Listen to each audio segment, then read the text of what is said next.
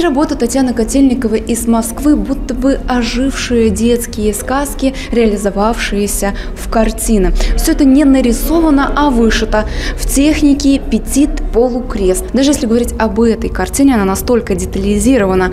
На первый план выходит девушка, которая спит и видит сны. Кто-то едет на коне, здесь девушка, видимо, занимается хозяйством. Чуть дальше такие рождественские забавы. Происходит сразу несколько действий, но неужели это не захватывает? А у этих икон сразу два автора – муж и жена.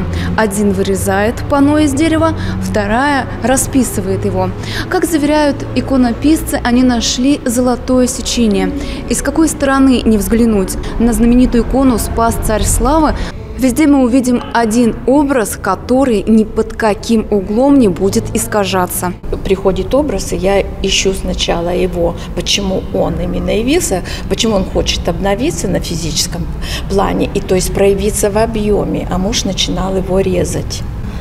И вот такая наша работа, мужское и женское начало, вот рождается вот это новое. То есть я правильно понимаю, вы засыпаете, вам присни, э, снится какой-то образ, вы порой даже не понимаете, Нет, кто не это, знаю, да. и пытаетесь Иду в найти. библиотеку, ищу материалы. Прежде чем его сделать, много работы проходит. И я учусь, меня пространство так учит. Это необычная картина, очень мягкая, хочется потрогать, потому что состоит она из лоскутов ковролина.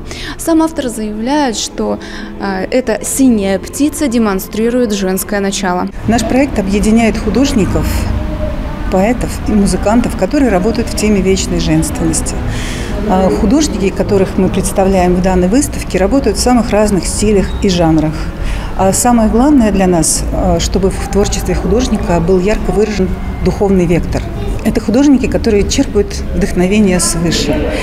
Они, как правило, рисуют мир невидимый. Все работы в представленной выставке находятся в выставочном зале университета. Каждый желающий может ознакомиться с творчеством вплоть до 7 апреля.